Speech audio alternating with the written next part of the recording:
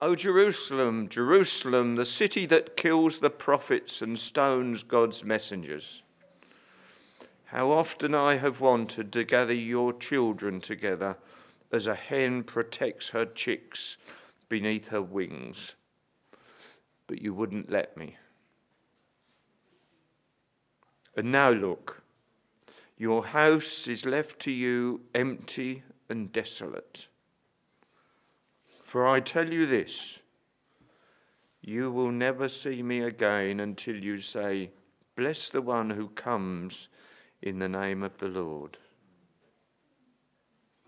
As Jesus was leaving the temple grounds, his disciples pointed out to him the various temple buildings, but he told them, Do you see all these buildings? I assure you, they will be so completely demolished that not one stone will be left on top of another. Later, Jesus sat on the slopes of the Mount of Olives. His disciples came to him privately and asked, When will all this take place? And will there be any sign ahead of time to signal your return and the end of the world? And Jesus told them, don't let anyone mislead you. For many will come in my name, saying, I am the Messiah. They will lead many astray, and wars will break out near and far. But don't panic. Yes, these things must come, but the end won't follow immediately.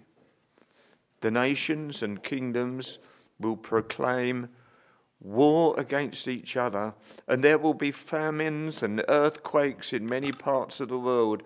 But all of this will be only the beginning of the horrors to come. May God add his blessing to this, his word this morning. Amen.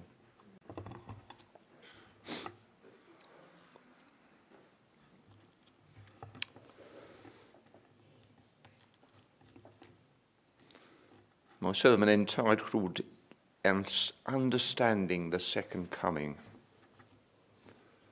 We live in a very tumultuous world. To some people, the second coming should happen now. If you live in a war torn country, if you're a child and you're 10 or 12 years old and you've never had a day in your life without hearing gunfire and explosions.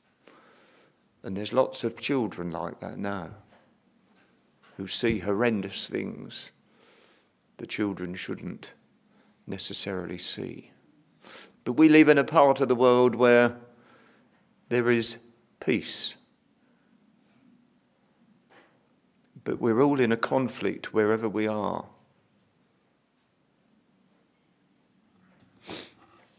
I read a magazine called New Scientist.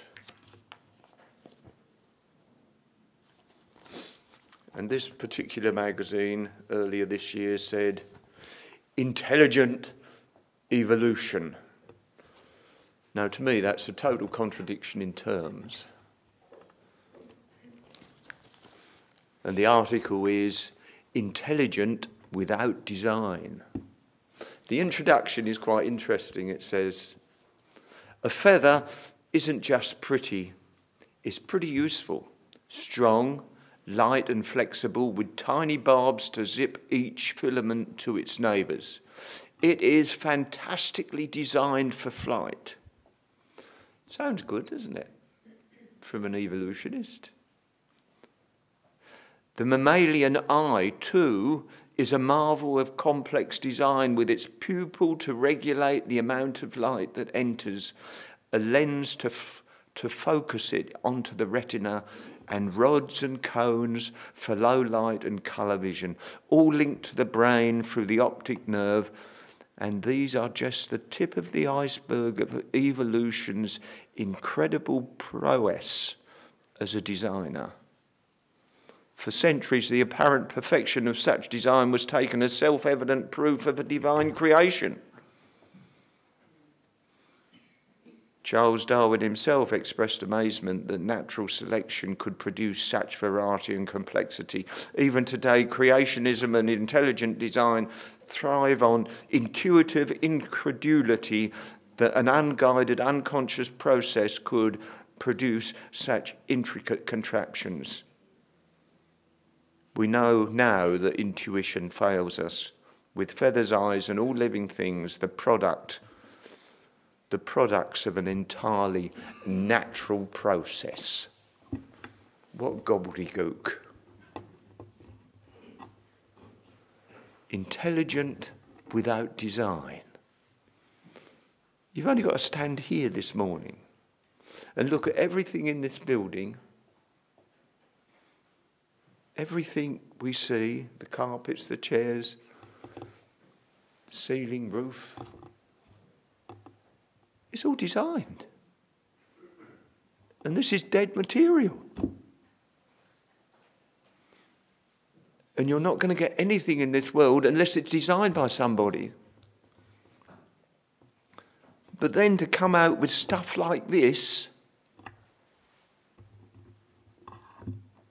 and say it just happens and that's the way it is and there is no God, the only reason they say that is because they don't want a God. And that's all evolution has got to offer. And it tells us, it tells our children, that that's all what life is about. You begin and you end, that's it.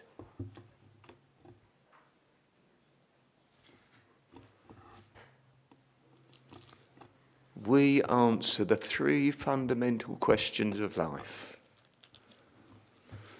Where do you come from? And I can't just say Essex. No, where did I come from? The original members of the human race were designed by God. Six, six to ten thousand years ago. That's it. What are you here for? I am here to help my fellow human beings and to help everybody to have a better life and to inform them about the God that I know. And where are we going?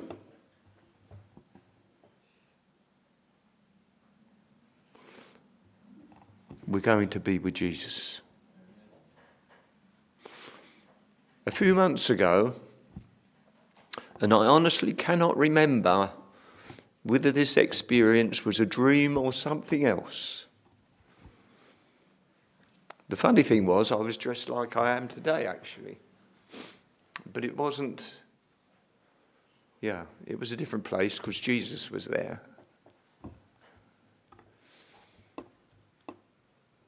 And I felt it was the time after Jesus had come. But I'm sure I won't be standing there in a, in a suit like this. But, you know, why do we look forward to Jesus coming? And it really hit me then because I want to be where Jesus is. And there was a tremendous, it's, it's, rather inadequate, but words are inadequate to say there was a tremendous feeling of, of contentment and satisfaction and, I don't know, of overwhelming goodness or something like that. Aren't words lousy? And I realised, yes, what's going to happen? we will be with Jesus.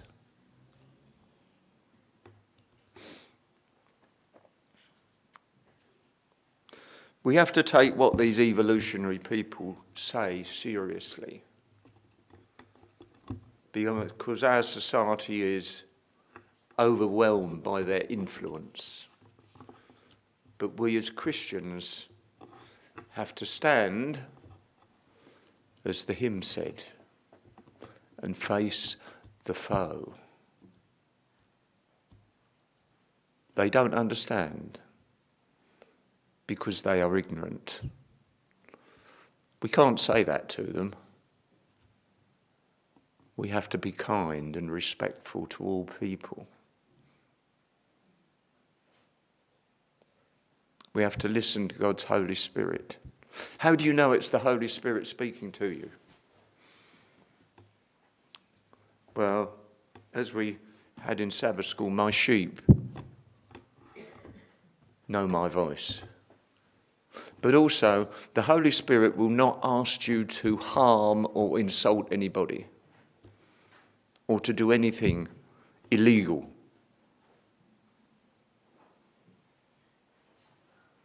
And certainly not to cause injury to another human being. So, we are looking forward to the return of Jesus Christ to this earth. We hope it's going to be soon. But when? Matthew 24 and 25, with the parables there, and Luke 21 are chapters that we can look at. And of course, we've got Daniel and Revelation.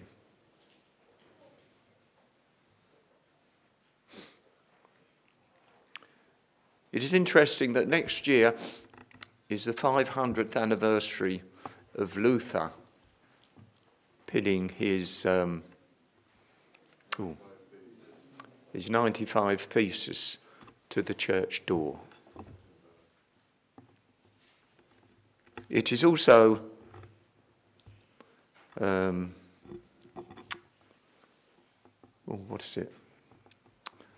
It will come to me. My memory's not as good as it used to be. Anyway, the Lutheran Church is in the process at the moment of coming to an understanding with the Roman Catholic Church, inasmuch as that they are apologizing to the Roman Catholic Church for the insult that Luther brought upon the Catholic Church by causing all the trouble he did. Pardon? They're apologising for being protesters. Yeah. And next year, they are signing the official document of coming together. I don't know how they can. But they've forgotten. We cannot forget our past. Luther was a great one for the book of Daniel and said, You cannot understand the Bible without the book of Daniel. Because it explains Revelation, or helps to explain it, I should say.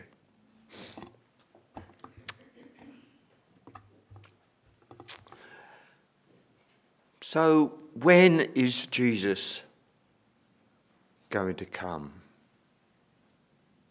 It's interesting in our reading this morning because Jesus in chapter 23, he's really had a real bash at the uh, religious leaders. And this is a few days before his, his crucifixion. And he goes on to them several times. How terrible it will be for you, teachers of the religious law, and you, Pharisees, hypocrites! For you won't let others enter the kingdom of heaven, and you won't go in yourselves. Yes, how terrible it will be for you, teachers of religious law, and you, Pharisees, for you cross land and sea to make one convert, and then you turn him into twice the son of hell as you yourselves are. And I would say that's some uncompromising language, isn't it? you can tell why they weren't particularly impressed. And then Jesus leaves the temple. And as he leaves, he says, And now look, your house is left to you empty and desolate. He's just telling them God's presence is not in this temple anymore. It is finished. You are finished.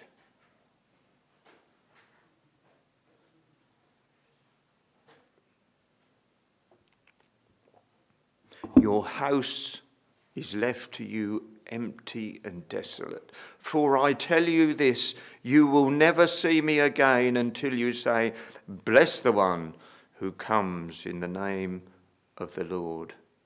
A quotation of Psalm 118, verse 26.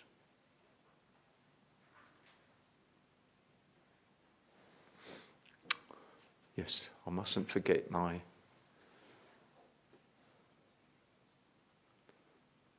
Right, I think we've got to go back there. That's right. And as Jesus was leaving the temple, his disciples pointed out to him the various temple buildings. And they were grand, they were big, they were huge. But he told them, Do you see all these buildings?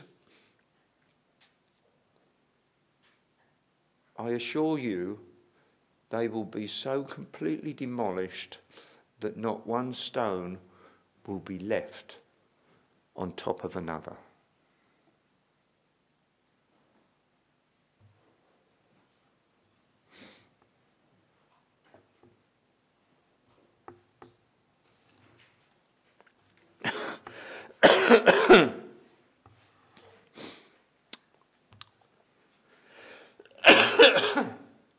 dear. Have you got a cup of water that I might have, please?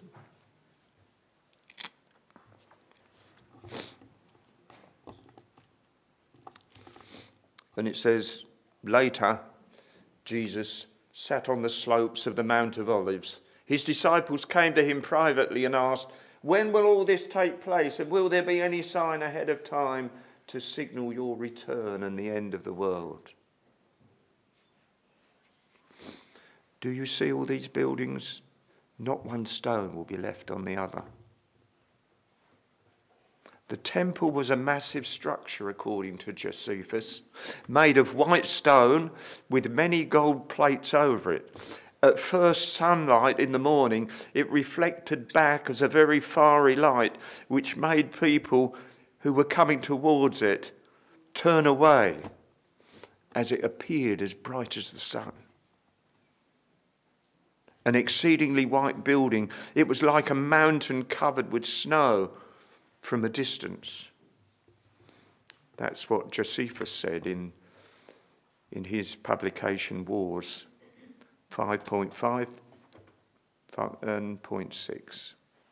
Some of the stones used in the construction of the temple, thank you very much. Some of the stones used in the construction of the temple were up to 70 feet long. Many were just 36 feet long. But they were 18 feet wide and 12 feet high. You don't push them into place with your knee or anything like that. They weigh many, many tons. And to the disciples, to say not one will be left upon another was a complete no no. That can't happen. Goodness me, how can you do that?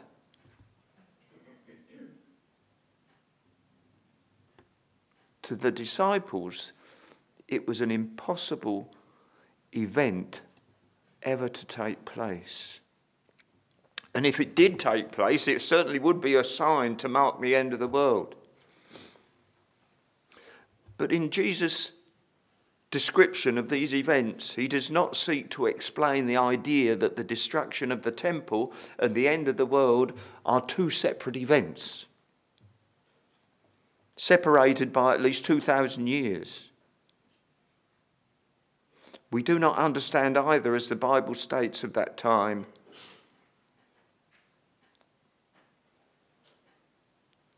when that would be, but only the Father in heaven. Christians have been hard pressed to try and disentangle this prophecy. Why did Jesus do this? The chapter slowly unfolds the reason. Jesus did not come to tell us when, but to alert us to the idea of living in a state of continual expectancy as we look for his soon return.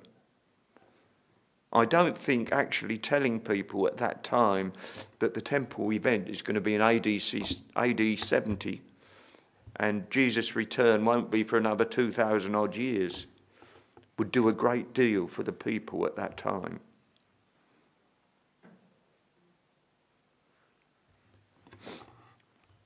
But as we move down this chapter, it is quite significant. This statement's here. Now, four times in Matthew 24, we are given a particular fact. Four times. And if Jesus, in any part of Scripture, tells you something four times, it's important. Verse 36 However, no one knows the day or the hour when these things will happen, not even the angels in heaven or the Son himself. Only the Father knows. Jesus, in his human existence, did not know.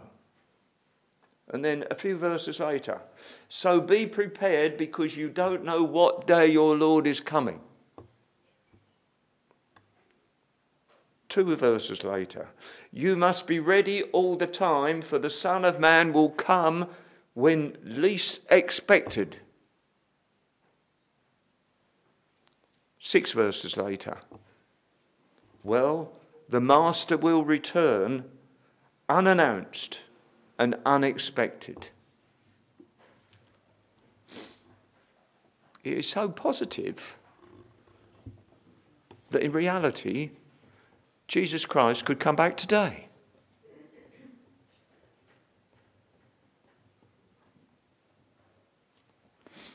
That would surprise us, wouldn't it?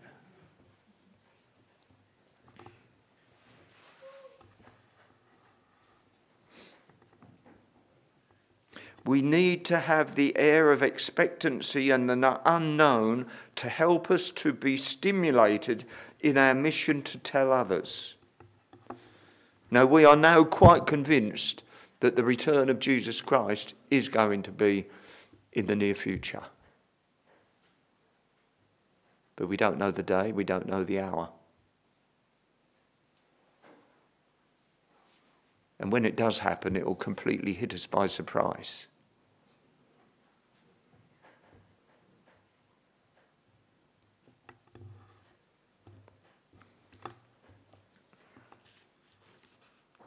As I said, it is to be so unexpected that it could even happen today.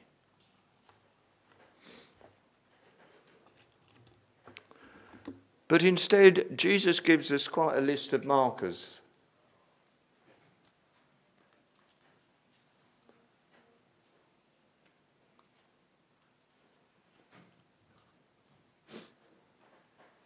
Am I doing something wrong? No. There's a little light showing that says it's moving, but it's. Okay. This is good. This is good. And Jesus told them, Don't let anyone mislead you. For many will come in my name, claiming, I am the Messiah and you will hear of wars and threats of wars, but don't panic. Yes, these thin things must take place, but the end will not follow immediately. Nation will go to war against nation, and nation against kingdom. There will be famines and earthquakes in many parts of the world, but all this is, the, is only the first of the birth pains with more to come. Jesus gives his disciples a list of events, but in reality, it's not very helpful. It does not give some much specific detail of the end of the age. There have always been false messiahs, wars, famines, and earthquakes. These are not the key events. They have always been. And it says these are natural events with more to come and even worse. Perhaps these could be considered similar to the sign of the rainbow, which God gave to remind us of his covenant promise with us that he will not flood the world again. As with Noah's flood, the signs are a clear indication that we live in a fallen world.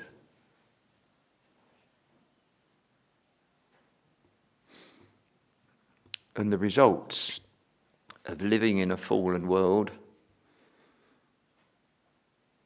is the devastation and disasters that we see around us. It is evidenced by earth's sickness.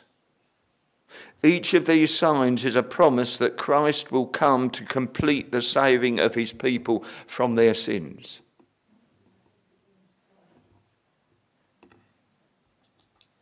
There are three precise signs also in Matthew 24 that we can assess.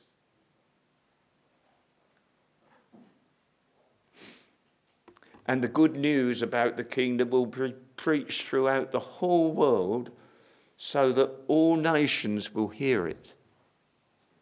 And then the end will come. To the disciples, this must have sounded more like another impossibility. The gospel preached throughout the whole world. How come? We're only here in Jerusalem.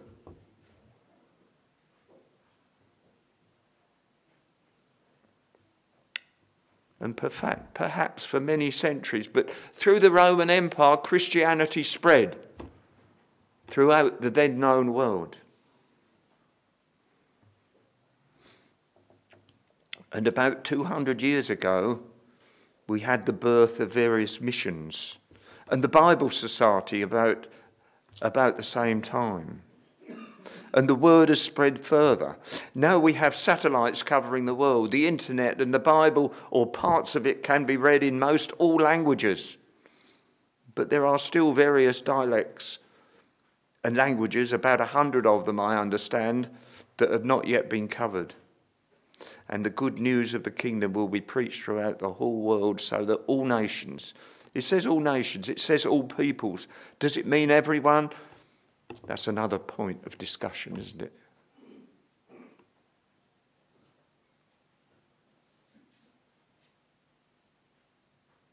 Because do people need to, does everybody need to be told?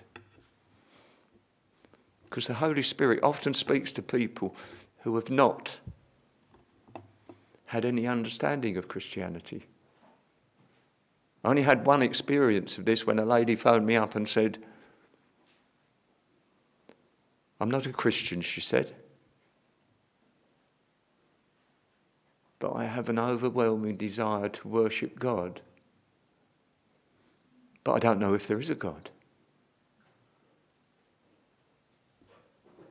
No, the Holy Spirit had spoken to her no human being had.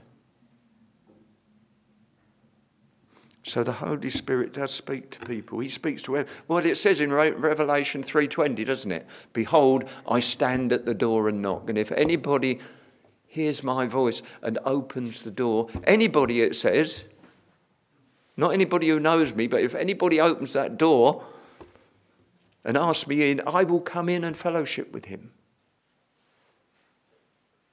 There are seven billion people in this world. Are we going to get to everyone? Well, I suppose that is possible with today's technology. But the Holy Spirit speaks first. The Holy Spirit moves people to respond.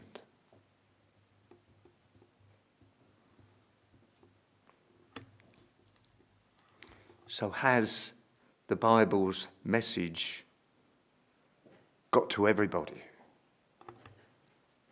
Interesting thought.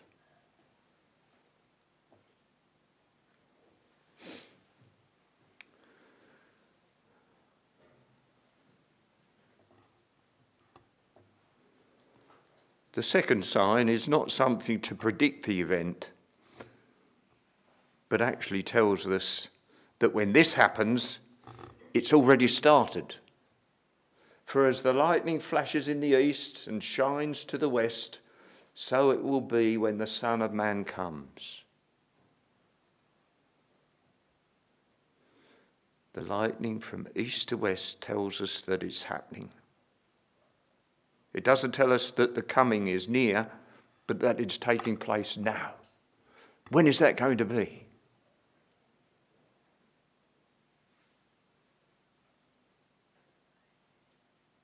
Everyone will see it. That is the thing. Nobody will not see it.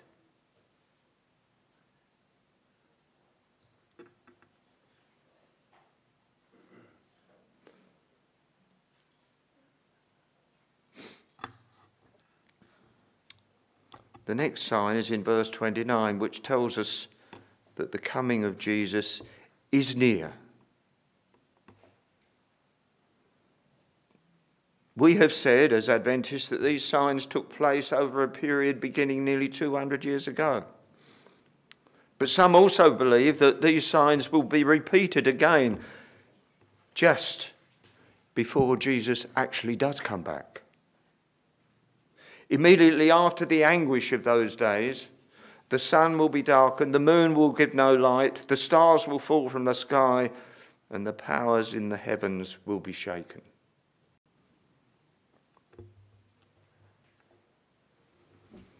Again, it's a little bit hazy,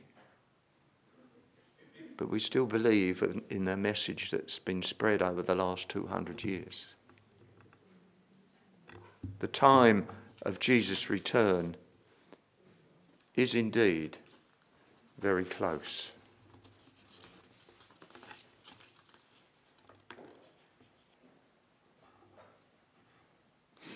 Then we move to the next verse. And then at last the sign that the Son of Man is coming will appear in the heavens. And there will be deep mourning among all the peoples of the earth. And they will see the Son of Man coming on the clouds of heaven with power and great glory.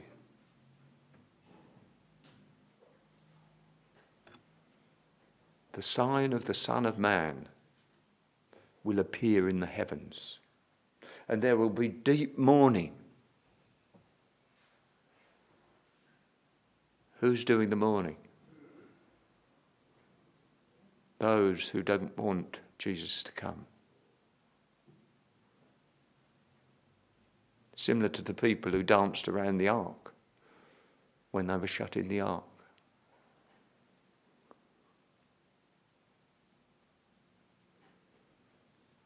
It seems to indicate that the majority of people on the earth will not be looking forward to the return of Jesus Christ.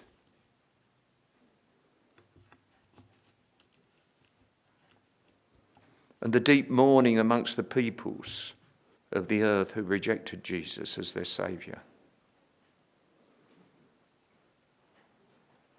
When you think of that, wouldn't that be a horrendous situation to be in? I trust it will not apply to any of us here or to those we love and cherish.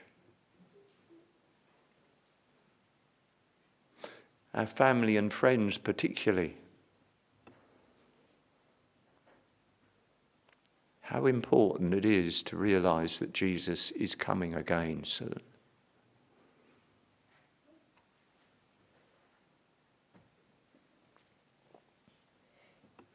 I'm in a very similar situation, a more real situation with regard to that because my brother at the moment is close to death. I'm going to see him this afternoon. He's in hospital in Essex. I want him to wake up and open his eyes when Jesus comes and to be there.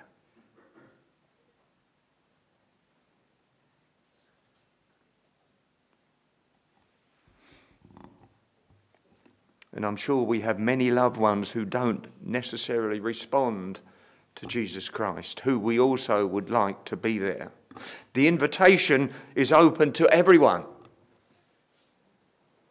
Seven billion people in this world have got the invitation. Many of them don't know there is an invitation yet.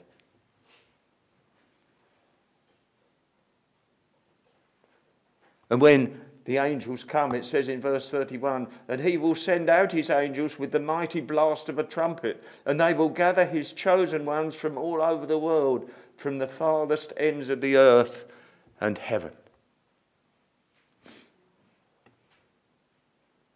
I've got the message translation here as well, which I find is quite, quite interesting. Then the arrival of the Son of Man, it will fill the skies. No one will miss it. That's fantastic, isn't it? No one will miss it. Unready people all over the world, outsiders to the splendour and power, will raise a huge lament as they watch the Son of Man blazing out of heaven. At that same moment, he'll dispatch his angels with a trumpet blast, summoning pulling in God's chosen from the four winds, from pole to pole. Can you imagine that? But the invitation is open to all the seven billion people in this world today. It's a very simple invitation. John 17:3 is one of my favourite short passages. And this is the way to have eternal life to pay my tithe regularly, to observe the Sabbath.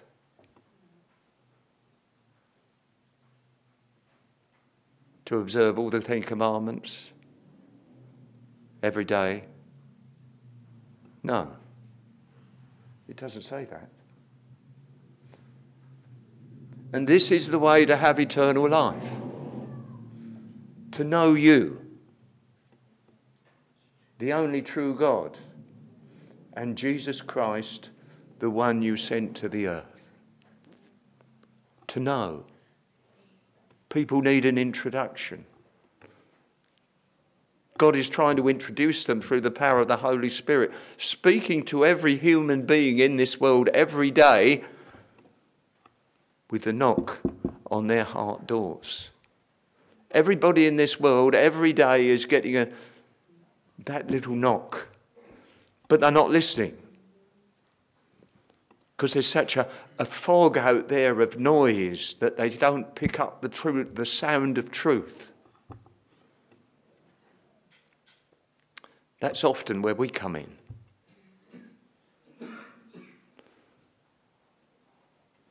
And the most important thing for us as Christians to be is Christian. In the morning watch this week, Ellen, the, uh, the watch that, for this year that's written by Ellen White, she was going through and saying how we should be as Christians. And she said, if only if only we were.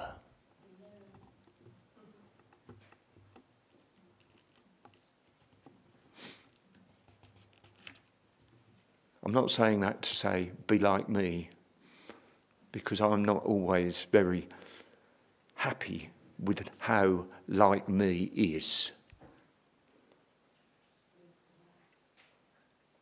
I wish I more closely resembled Jesus Christ in my life than I do.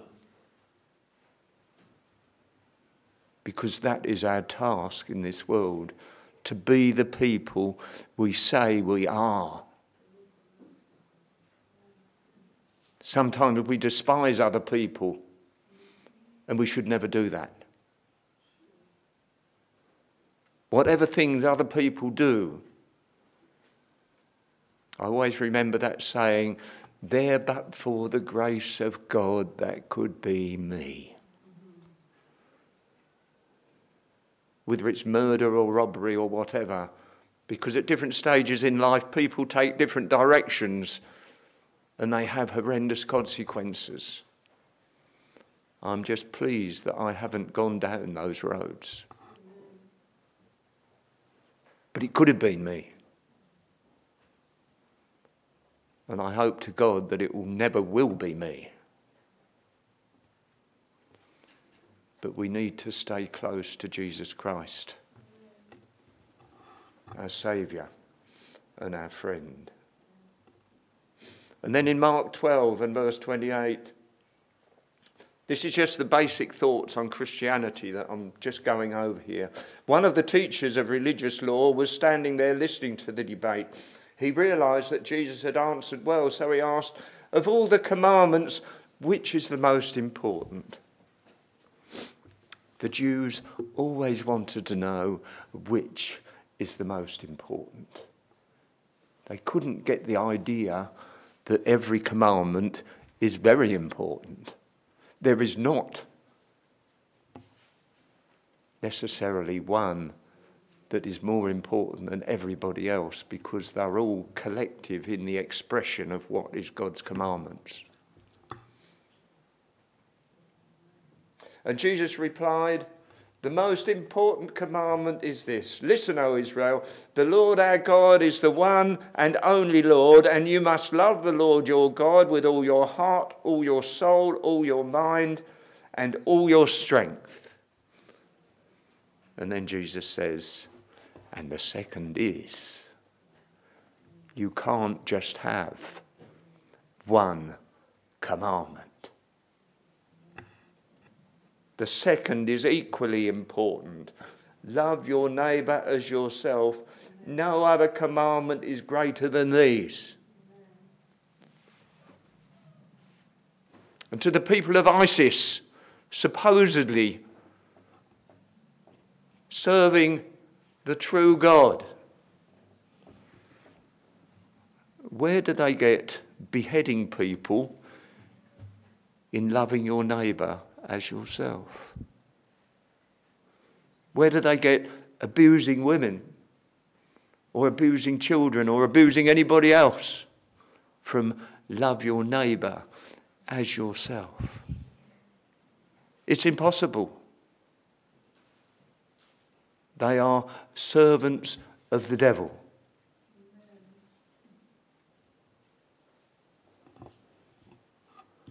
They cannot represent God behaving like that.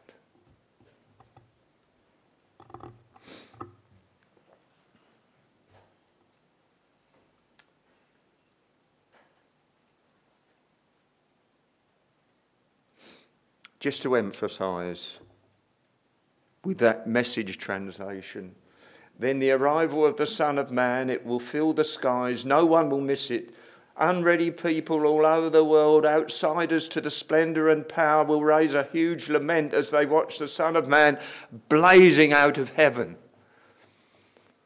Can you imagine that? What a powerful concept that will be. If we're on this earth at that time and looking up and see that event coming before our eyes see the Son of Man blazing out of heaven as he comes to this earth. And at that same moment, he'll dispatch his angels with a trumpet blast summons, pulling in God's chosen from the four winds, from pole to pole.